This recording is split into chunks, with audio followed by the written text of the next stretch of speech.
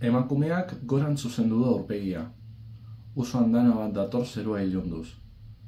Lerro zuzen bat marraztu du. Euritanten ibilbidea, argi izpi bat, arrainen ahoan bere ari paren bila dabilen arrantzalearen aria, soka tresna baten nota, edo zein kolore puru. Erretinak badu gomuta.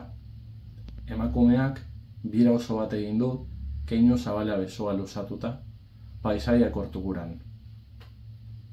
Bi, olatu entua, marmoken belak, egurrezko hitz bat jitoan, algetako argian puluak.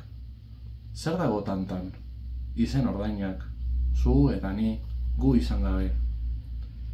Izpiro euskorrean, amildegirako gondita. Emakumeak hotz ditu eskuak, gizonak hartzen dizkio eta estaltzen. Hiru.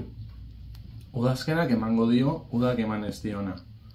Grapa pare bat malkoei eusteko. Hauze da egoera, iglaren arrakala batean. Hankak tinko itzaz likenez, beteriko harri batean.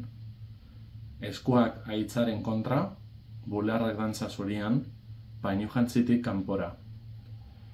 Gizonak izuri du. Eguardiko argiak Espainiak iziotu dizkie ginebrasko lipgloss batek bezala. Igeri itzuli dira ertzera. Gizonaren az garratza kriseilio bat da arekak argitzen. Lau. Emakumeak badaki holtza bat dela ordantza orain. Love me, love me, love me diote haren oinatzek area zartatzean.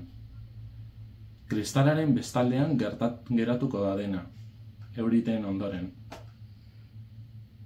Aldirietan dabiltzan taksiak legez, lehenioaren agotzera baitaratuko dira biak.